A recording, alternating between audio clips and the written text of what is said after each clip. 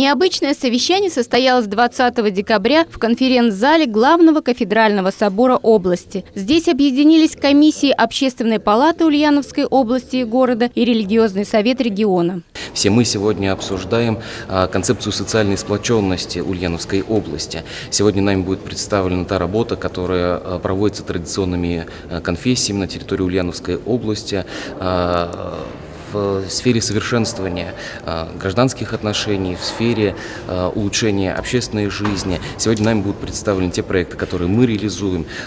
Мусульмане расскажут о том, что делают они. За одним столом собрались представители власти, духовенства разных конфессий, национальных автономий, общественных организаций, меценаты Ульяновской области. Правил заседание глава региона. Сегодня для нас очень важно воспитать в обществе чувство неравнодушия, сострадания и милосердия. Потому что, как э, верно отметил э, наш с вами президент, наш национальный лидер Владимир Владимирович Путин, духовную пустоту заполняют экстремисты и идеологии терроризма, враги прогресса и всей цивилизации.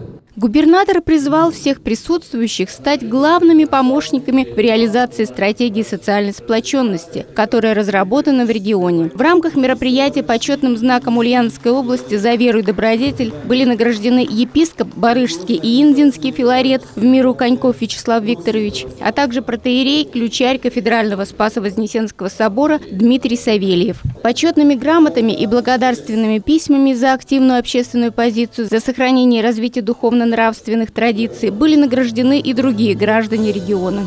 Ирина Антонова, Юрий Конихин. Новости Ульяновской правды.